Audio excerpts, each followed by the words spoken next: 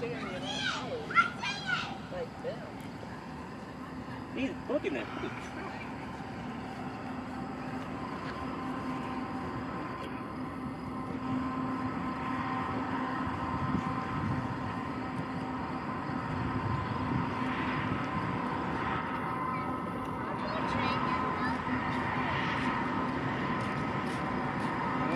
coming up there.